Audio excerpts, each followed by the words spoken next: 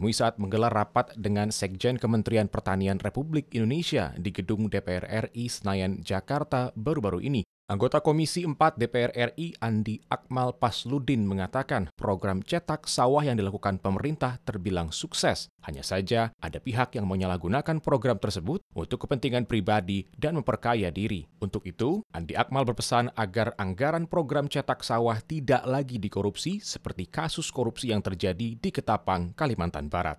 Kita dukung idenya ya, tapi dipastikan bahwa lahan tersebut memang uh, available ya, artinya bisa digunakan. Ya kan? Jangan membuka misalnya apa namanya tadi gambut yang dalam ya yang memerlukan biaya sangat besar yang hanya sekedar proyek gitu kan? Masih banyak sebenarnya lahan-lahan uh, hutan itu hutan-hutan perhutanan sosial ya yang ada di sekitar pemukiman penduduk itu bisa dijadikan sebagai kawasan pertanian.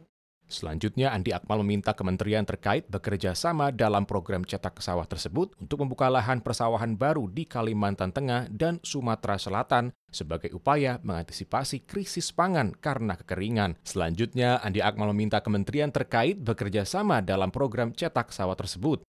Kementerian Pertanian, Kehutanan, ya kan, PUPR, Agraria, ya kan, termasuk BUMN bersinergi agar pangan ini betul-betul bisa uh, kita mandiri dan kita tidak uh, khawatir kekurangan itu.